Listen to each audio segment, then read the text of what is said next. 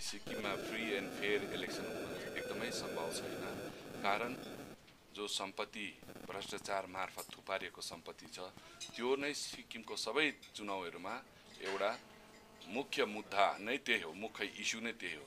र त्यो पैसाको दबाउमा सिक्किममा जहिले पनि सम्पन्न हुँदैछ। यो चुनावमा झन् साह्रो बेसी हामी देख्दैछौँ। केही दिन अगाडि मुख्यमन्त्रीले गेजिङमा एउटा त्यस त्यो विषय जो दुर्भाग्य अति दुर्भाग्यपूर्ण वक्तव्य यति लामो शासन गर्ने मुख्यमन्त्रीज्यूले राख्नुभयो। यो प्रजातन्त्रको निम्ति अति दुर्भाग्य हो र यसलाई म व्यक्तिगत रूपमा सोच्दा या कङ्ग्रेस एउटा राष्ट्रिय पार्टीको हैसियतमा जसले सिक्किमलाई प्रजातन्त्र प्रदान गर्ने पार्टी भएको हैसियतमा जुन उहाँले एउटा लामो शासन गर्ने मुख्यमन्त्री भएर यो खालको वक्तव्य धम्कीपूर्ण शब्दले भरेको वक्तव्य जनताको अगाडि पेस गर्नु अति दुर्भाग्य अनि निन्दनीय छ।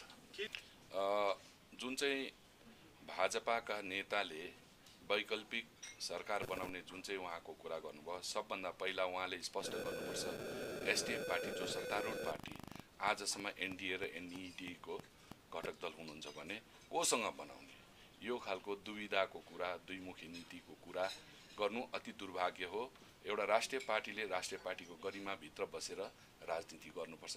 किनभने राष्ट्रलाई नेतृत्व दिने पार्टीको ठुलो जिम्मेवारी हुन्छ। मैले देख्दाखेरि जुन एसकेएम पार्टीले गभर्नरलाई भेट्नु मलाई त्यति साह्रो उचित लागेन। यसघरि सारा भारत लगायत सिक्किम राज्यमा जो चुनाव विधानसभा र लोकसभाको हुँदैछ हामी चुनाव आ आयोगको अधीनमा छौँ। चुनाव आयोगको शासनमा छौँ। त्यसकारण यो जति पनि कुरा छ यो कुरोलाई म चाहन्छु सिक्किमका समस्त विपक्षी पार्टीहरू एकजुट भएर यो भारतको चुनाव आयोगलाई यसको कम्प्लेन दर्ता गर्नुपर्छ। अधीनमा यहाँ चुनाव सम्पन्न हुँदैछ र त्यो चुनाव आयोग स्वतन्त्र बडी हो। त्यसकारण यसको मुद्दालाई लिएर हामी सबै एकत्रित भएर किनभने केवल त्यो धम्काएको एसकेएमलाई होइन समस्त विपक्षीलाई धम्काएको र यो खालको सत्तारूढ पार्टीको एउटा जिम्मेवारी नेताको वक्तव्य यो खालको पेस हुनु र मैले देख्दाखेरि राज्यपालमा जाने त्यो ठिक कुरा मलाई लागेन।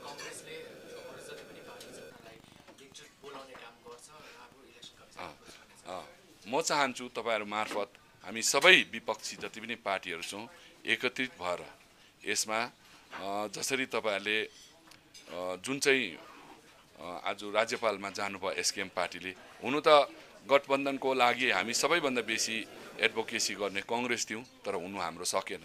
तर यो खालको एक्लो राजनीति जो सिक्किममा हामीले हेर्दैछौँ क्षेत्रीय पार्टीले म नै भइ गरौँ भन्ने जुन खालको गर्नुहुँदैछ त्यसमा तपाईँहरूले कुनै दिन भोलि चुनावको हाम्रो रिजल्ट आउँदाखेरि कुनै प्रकारको हामीले धोका खाएको खण्डमा त्यो जिम्मेवारी पनि तपाईँहरू ठुलो विपक्षी पार्टीले लिनु सक्नुपर्छ। किनभने समाजमा अथवा प्रजातान्त्रिक प्रणालीमा एकताको खाँचो हुन्छ। सङ्गठित विपक्षी भएर जति हामी अगाडि हिँड्छौँ त्यति प्रजातन्त्र बलियो हुन्छ। तर एक्लो एक्लो भएर लड्ने राजनीतिले गर्दा यहाँनिर दमन राजनीति र प्रजातन्त्र दबिन्छ। जो चाहिँ चालिस वर्षको हामी यो कुरो अनुभव गरिरहेको छौँ जबसम्म हाम्रो सङ्गठनिक हाम्रो एकता आउँदैन तबसम्म सिक्किममा यही कारणले प्रजातन्त्र फस्टाउन सक्दैन र केवल केवल क्षेत्रीय पार्टीको खालि भाषणमा सीमित हुँदैछ प्रजातन्त्रको स्वतन्त्रता लिएर तर हकिकतमा यथार्थमा यो कुरो नभएको घटना पनि यो हो। हामी मिल्नुपर्छ हामी मिलेर जनताको सेवा गर्नुपर्छ। एक्लो रेसमा कुद्नु कोही बेला ठेस लाग्छ। ठेस लाग्यो भने लड्छ चोट लाग्छ त्यस्तै हामी सबै मिलेर गऱ्यौँ भने त्यो काम उचित हुन्छ। चाहेको के हो भने क्षेत्रीय पार्टीले दिनदहाडे डकैती काम गर्दैछ यहाँनिर। तर भारत सरकारलाई सब कुरो याद छ। इडीले के के कमलेश अग्रवाललाई जाँच गर्दाखेरि के के भेट्यो खतरा खतरा डकुमेन्ट भेटेको छ जसमा मुख्यमन्त्रीको परिवारसम्म त्यसमा इन्भल्भ छ। र त्यो इडीको रिपोर्ट खुलस्त हुनु सकेको भए आज पिएस गोले जसरी चुनाव लड्न सक्नु भएन त्यसरी उहाँहरूलाई पनि त्यो आपत पर्ने थियो। तर इडी जस्तो निकाय आज सिक्किममा प्रवेश गर्दा यति कमजोर हुन्छ भने सिक्किमको जनताको हालत के छ त्यो भारत सरकारले बुझ्नै पर्ने कुरा हो। यो कुरो मैले बताउन चाहेको। कहिले हट्नेवाला छैन यो कुरो तपाईँले ठिकै कुरा भनिदिनु मजा लाग्यो। के भन्यो भनेदेखि जुन चाहिँ नाइन्टिन सेभेन्टी नाइनको विधानसभा तबदेखि आजसम्म गैर संवैधानिक छ। र कोर्टमा केस स्ट्यान्डिङ छ। र यो जबसम्म सुधार हुँदैन जस्तो हामी केन्द्रीय आयकरको समस्या छ हामीलाई होइन? गैर विधानसभाले गैर संवैधानिक विधानसभाले पास गरेको कानुनहरू पनि गैर नै हुन्छ। र यो सच्याउनु जरुरी छ सबभन्दा सिक्किममा सही अब प्रशासन हुनु हो भने जुन दिन यो सुधार आउँछ तब सबै कुरो सुधार सुध्रेर आइहाल्छ। नत्र भने हाम्रो सिक्किममा चाहिँ अहिलेसम्मको क्षेत्रीय पार्टीको शासनमा म जनतालाई सम्बोधन गर्दा पनि यो भन्दैछु कि आँखा फुटेको अन्धाले डोरियाको बाटोमा सिक्किमको प्रजातन्त्र हिँडेको छ। चालिस वर्ष भयो। र कागले कान लोग्यो कागले कान लोग्यो भनेको र कागको पछाडि जनता कुदेको पनि चालिसै वर्ष भयो। कान छाम्ने काम भएको छैन।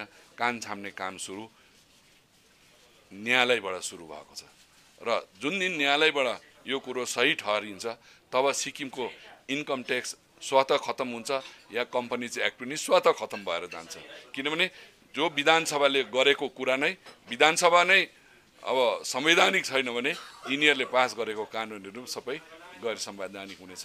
सिक्किमे भएर सबै हामी पुरानो व्यापारी भोटे लाप्चे पुरानो जति पनि छौँ हामी सबै सिक्किमे समाजमा हामी खुसीसँग बस्न चाहन्छौँ। त्यो विश्वास त्यो अडान आज पनि मेरो त्यस्तो जस्तोको तस्तै छ।